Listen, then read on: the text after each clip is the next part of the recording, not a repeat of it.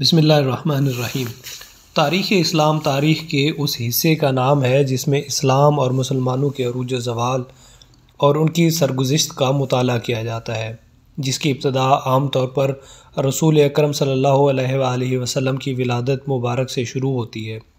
तारीख़ के इस हिस्से में मुसलमानों की हकूमतों के क़्याम और उनके तर्ज हुकूमत मुसलमानों के दरमियान बाहमी जंगों या गैर मुसलमों से जंगों, उनकी सकाफ़त और फ़रंग वगैरह जैसे अमूर बयान किए जाते हैं। मुसलमानों के दौर हुकूमत में होने वाले अहम वाक़ात के इलवसबाब वगैरह का जायज़ा भी लिया जाता है। इस लिहाज से मुसलमानों की तारीख को रसूल अक्रम अलैहि वसल्लम की हयात तय्यबा खिलाफत राशदा, उमवी अब्बासी, फ़ातमी और उस्मानी दौर हुकूमत में तकसीम किया जा सकता है। तारीख़ इस्लाम को समझने के लिए सबसे पहले जजीरा नुमा अरब के सियासी व इज्तमी हालात, दीनी हालात और तहजीब व तमदन को समझना ज़रूरी है। जजीरा नुमा अरब एशिया के जनूब में वाक़ है। इसके शुमाल में इराक़ और उर्दन, मशरक़ में खलीज फ़ारस, जनूब में बहर ओमान और मगरब में बहर अहमर और खलीज अकबा वाक़ है। इस जजीरा नुमा का रकबा तीस लाख मुरबा किलोमीटर से ज़्यादा है और जोग्राफियाई एतबार से तीन हिस्सों में तकसीम है। मरकज़ी हिस्सा सहराए अरब के नाम से मशहूर है और इस जजीरा का वसी तरीन इलाका है। शुमाली इलाके का नाम हिजाज है, जिसके मानी हायल और माने हैं। चूँकि यह सरजमीन नजद और तोहामा के दरमियान वाक़ और माने है, इसलिए इसे हिजाज कहा जाता है। इस जजीरे का तीसरा हिस्सा बहर हिंद और बहर अमर के साहिल पर वाक़ है जिसमें यमन और हज़र मौत के इलाके शा, शामिल हैं। जनूबी हिस्से के अलावा जजीर नुमा का पूरा इलाका मजमू तौर पर खुश्क और बे बेआबो सहरा पर मुश्तमिल है मगर बाज़ जगहों पर इसमें नखलिसान भी पाए जाते हैं। ज़माना जहलीत में सियासी एतबार से किसी ख़ास ताकत के मुती और फर्मबरदार ये लोग नहीं थे। अरब सिर्फ़ अपने ही कबीले की ताकत के बारे में सोचते थे। दूसरों के साथ इनका वही सलूक था जो अफराद पसंद, वतन दोस्त और नस्ल प्रस्त रवा रखते थे। जो राफियाई और सियासी एतबार से जजीरा नुमा अरब ऐसी जगह वाक़ है कि जनूबी हिस्से के अलावा इसका बाकी हिस्सा इस काबिल ना था कि ईरानी और रूमी जैसे फ़ातहीन उसकी जानब रुख करते। चुनाचे इस ज़माने में इन फ़ातहन ने इसकी तरफ़ कम ही तवज्जो दी।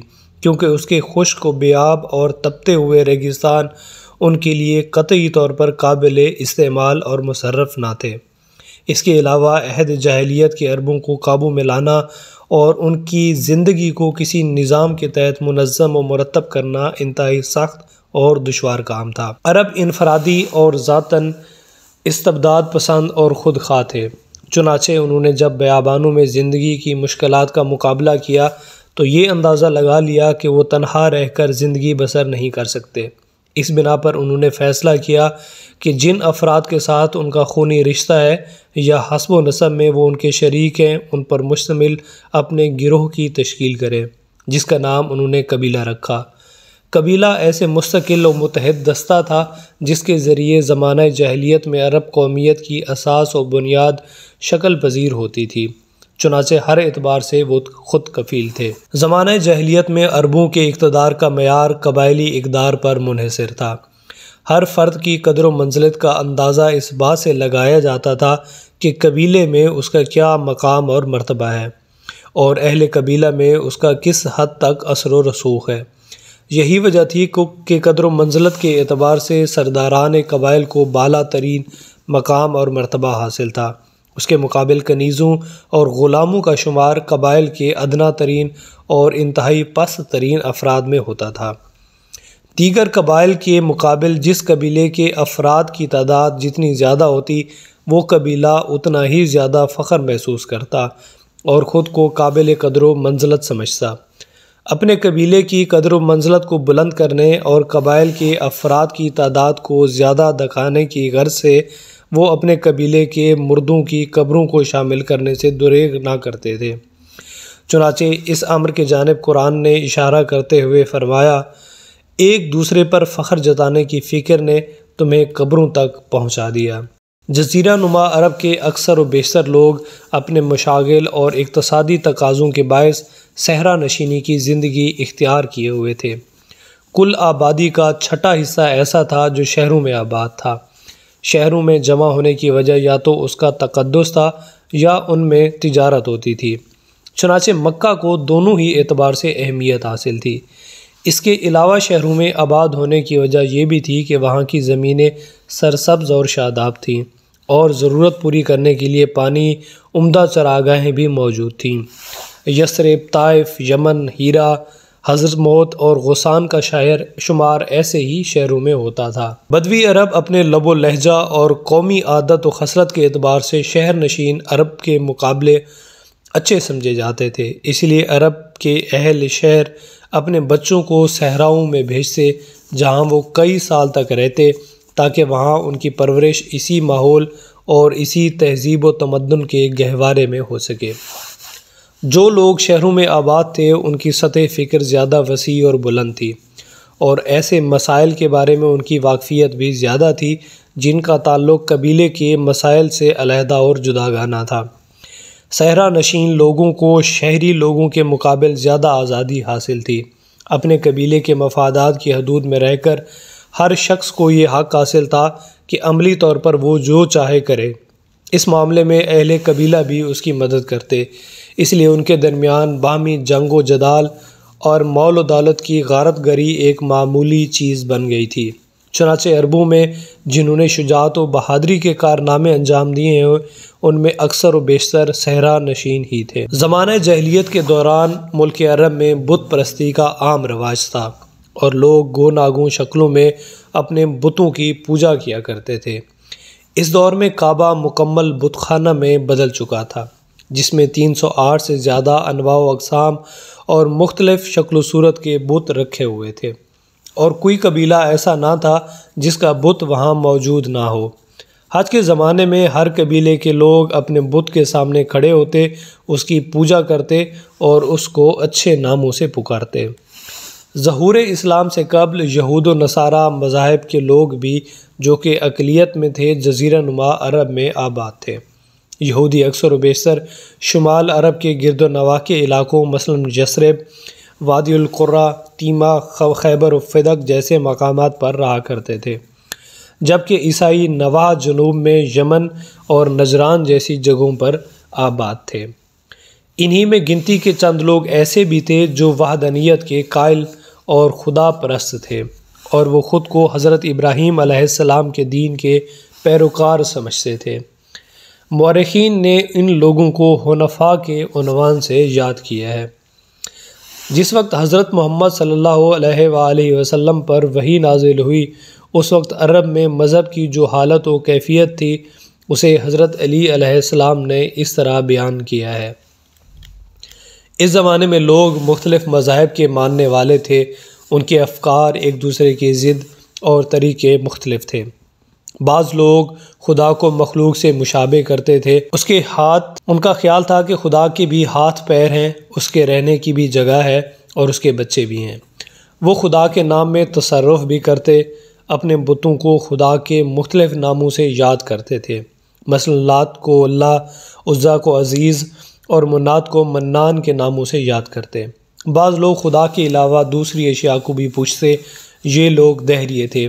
और सिर्फ़ फितरत, हरकत, फ़लकिया और गर्दिश ज़मान ही को ख़ुद पर मौसर समझते थे। अल्लाह ताला ने पैगंबर सल्लल्लाहु अलैहि वसल्लम के ज़रिए उन्हें गुमराही से निजात दिलाई और आपके वजूद की बरकत से उन्हें जहालत के अंधेरे से बाहर निकाला। जब हम बुत परस्तों के गोनागों अकायद का मताल करते हैं और उनका जायज़ा लेते हैं तो इस नतीजे पर पहुँचते हैं कि उन्हें अपने बुतों से ऐसी ज़बरदस्त अकीदत थी कि वो उनके ख़िलाफ़ ज़रा सी भी तोहन बर्दाश्त नहीं कर सकते थे। इसलिए वो हज़रत अबू तालिब के पास जाते और पैगंबर इस्लाम की शिकायत करते और कहते कि वो हमारे खुदाओं को बुरा भला कह रहे हैं और हमारे दीन और मज़हब में बुराइयाँ निकाल रहे हैं। वो वजूद खुदाए मुतला को खाले के परवरदिगार के मौत के दो कायल तो थे और अल्लाह के नाम से उसे वो भी याद करते थे मगर इसके साथ ही वो बुतों को तकदस व पाकिजगी का मज़हर और उन्हें काबिल परस्त समझते थे। वो बात भी अच्छी तरह जानते थे कि ये बुत उनके मबूद तो हैं, मगर उनके खालिक नहीं। चुनाचे यही वजह थी कि जब रसूलुल्लाह सल्लल्लाहु अलैहि वसल्लम ने उनसे गुफ्तगु फरमाते तो ये साबित नहीं करते थे कि खुदा वंद मताल उनका खालिक है। बल्कि सबूत व दलाइल के साथ ये फरमाते कि खुदाए मुतलक वाहिद है और उनके बनाए हुए मबूदों की हैसियत व हकीकत कुछ नहीं है। ज़माना जहलीत के अरब पढ़े हुए नहीं थे और इल्म की रोशनी से कतई बेबहरा थे। उनके इस जहल नाखानदगी के बायस तोहमात व खराफात ने पूरे माशरे पर अपना साया फैलाए रखा। इनकी कसीर आबादी में गिनती के लोग ही ऐसे थे जो लिखना और पढ़ना जानते थे। ज़माना जहलीत में अरब तमदन के नुमाया तरीन मज़हर हसब नसब की पहचान शेर गोई और तकारीर में खुशबयानी जैसे अवसाफ थे। चुनाचे ऐश व इशरत की महफिल हो खाह मैदान कारजार वो जहाँ भी जाते, उसमें शेर गोई या जादू बयान तकारीर के ज़रिए अपने कबीले की काबिल इफ्तार बातें ज़रूर बयान करते। इसमें शक नहीं कि इस्लाम से कबल अरबों में शुजात, शीरी बयानी, मेहमान नवाजी, लोगों की मदद करना और आज़ादी पसंद जैसी उम्दा खसूसियात और सिफ़ात भी मौजूद थी। मगर इन काबिल मजम्मत, आदात व अतवार के मुकाबल जो उनके रगो पै में सिरायत कर चुकी थी, उनकी ये तमाम खूबियाँ बेहकीकत बनकर रह गई थी। इसके अलावा इन तमाम खूबियों और ज़ाती अवसाफ़ के महर्क इंसानी अकदार और काबिल तहसीन व सतश बातें न थीं। ज़माना जहलीत के अरब तमई परवरी और मादी चीज़ों पर फरेफ्तगी का कामिल नमूना थे। वो हर चीज़ को मादी मफाद के जाविये से देखते थे। उनकी इज्तमी तहजीब बेरा रवी बद किरदारी और कत्ल गारत गरी जैसे बुरे अफ़ाल और आमाल पर मबनी थी। और यही हैवानी पस्त सिफ़ात उनके सरिश्त और आदत व जबलत का जुज़ बन गई थी। ज़माना जहलीत में अरबों के दरमियान जो तमदन राइज था, उसमें इखलाक की तोजी व ताबीर दूसरे अंदाज में की जाती थी। मिसाल के तौर पर गैरत मरवत शुजात की सभी तारीफ़ करते थे, मगर शजात से उनकी मुराद सफाकी और दूसरों का कत्ल खून करने के लिए सबसे ज़्यादा से ज़्यादा ताकत होती थी। गैरत का मफहूम, फ़हूम उनके तमदन में लड़कियों को ज़िंदा दफन कर देना था और अपने इस तरीक़ा अमल से अपनी गैरत की नुमाया तरीन मिसाल पेश करते थे। अहद वफा वो इस बात को समझते थे कि उनके कबीले के किसी फ़र्द ने जो भी अहदो पैमान किया है, वो चाहे गलत हो या सही, वो उसकी हिमायत व पासदारी करें। तलु इस्लाम के वक्त दुनिया की तमाम अकवाम के अकायद में कमो बेश खुराफात और जिन व परी वगैरह के किस्से शामिल थे। इस ज़माने में यूनानी और सासानी अकवाम का शुमार दुनिया के सबसे ज़्यादा तरक्की याफ्ता अकवाम में होता था। चुनाचे उन्हीं के किस्सों और कहानियों का उन पर गलबा था। ये भी अमर वाकई है कि तहजीब व तमदन और इल्म के अतबार से जो भी मुआरा जिस कदर पसमानदा होगा, उसमें तोहमात व खराफात का उतना ही ज़्यादा रिवाज होगा। जजीरा नुमा अरब में तहमात का आम रिवाज था, उनमें से बहुत से तारीख ने अपने सीने में महफूज कर रखे हैं। मिसाल के तौर पर एक तोहम परस्त वाक़ यहाँ नकल करते हैं कि ऐसी डोरियों को जिन्हें कमानों के जह बनाने के काम में लाया जाता था लोग ऊँटों और घोड़ों की गर्दनों नीर सरों पर लटका दिया करते थे। उनका ये अकीदा था कि ऐसे टोटकों से उनके जानवर भूत प्रेत की परछाओं से बचे रहते हैं और उन्हें किसी की बुरी नज़र भी नहीं लगती। इसी तरह जब दुश्मन दुश्मन हमला करने के बाद लूट मार करता है तो ऐसे टोटकों की वजह से इन जानवरों पर ज़रा भी आँच नहीं आती। एक और तोहम परस्ती का वाक़ यह है कि खुश्क साली के ज़माने में बारिश लाने की गर्ज से जजीरा नुमा अरब के बूढ़े और काहन लोग सला दरख्त जिसका फल मज़े में कड़वा होता है और ओशर नामी पेड़ जिसकी लकड़ी जल्दी जल जाती है तो गायों की दमों और पैरों में बाँध देते और उन्हें पहाड़ों की चोटियों तक हाँक कर ले जाते, उसके बाद वो इन लकड़ियों में आग लगा देते।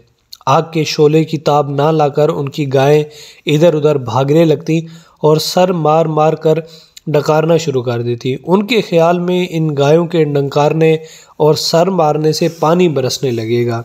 उनका ये भी गुमान था कि जब वर्षा की देवी या जल देवता इन गायों को तड़पता हुआ देखेंगे तो इनकी पाकिजगी और पोतरता को ध्यान में रख कर जल्द ही बादलों को बरसने के लिए भेज देंगे। वो मुर्दों की कब्र के पास ऊँट कुर्बान करते और उसे एक गढ़े में डाल देते। उनका ये अकीदा था कि इनका ये इकदाम इस बात का बायस होगा कि साहेब कब्र इज़्ज़त व एहतराम के साथ ऊँट पर सवार मैदान हशर में नुमाया होगा। ज़माना जहलीत के अरब औरतों की कदर मंजलत के ज़रा बराबर भी काबिल ना थे। वो हर किस्म के इनफरादी व इज्तमी हकूक़ से महरूम थीं।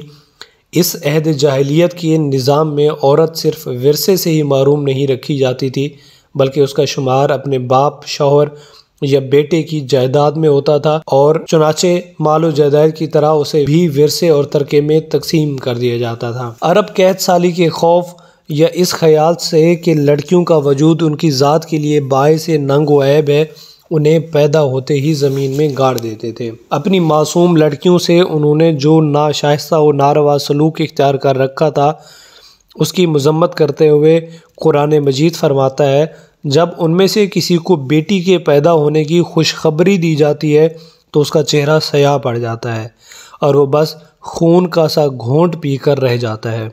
लोगों से मुँह छुपाता फिरता है कि बुरी खबर के बाद क्या किसी को मुँह दुखाए। सोचता है कि ज़िल्लत के साथ बेटी को लिए रहे या मट्टी में दबा दे। दूसरी आयत में भी कलामुल्ला इन्हें इस अमल बद और इंसानियत सोज हरकत के बदले खुदा वंद ताला की बारगाह में जवाब दे करार देता है। चुनाचे इर्शाद है, और जब ज़िंदा गाड़ी हुई लड़की से पूछा जाएगा कि वो किस कसूर में मारी गई। सबसे ज़्यादा अफसोसनाक बात यह थी कि उनके दरमियान शादी ब्याह की ऐसी रसूमात राइज थी कि कोई महकम असल व बुनियाद ना थी। वो अपनी जौजा के लिए किसी मुन हद के कायल ना थे। महर की रकम अदा करने की ज़िम्मेदारी से सबको दोष होने के लिए वो उन्हें आज़ाद कर देते। कभी वो अपनी जौजा पर बेइस्मत होने का इल्ज़ाम लगाते ताकि ये बहाना बनाकर महर की रकम अदा करने से बच जाए। उनका बाप अगर किसी बीवी को तलाक दे देता या खुद मर जाता तो उसकी बीवी से शादी कर लेना उनके लिए आर और मुश्किल ना था। ज़माना जहलीत के तमदन में ज़िलअक़द, ज़िलहज, मुहर्रम और रजब चार महीने ऐसे थे जिन्हें माह हराम से ताबीर किया जाता था। इन चार माह के दौरान हर किस्म की जंग खून रेजी ममनू थी। अलबत् उसके बदले तजारत मेल मुलाकात मकाम मुखदसा की जियारत और रसूमात की अदायगी का बाज़ार गर्म रहता। कमरी महीनों के हिसाब से साल के मौसम चूँकि आहिस्ता आहिस्ता बदलते रहते थे और ये मौसम उनके लिए साजगार और मुनासिब ना होते, इसलिए वो काबिल एहतराम महीनों में तब्दीली कर देते।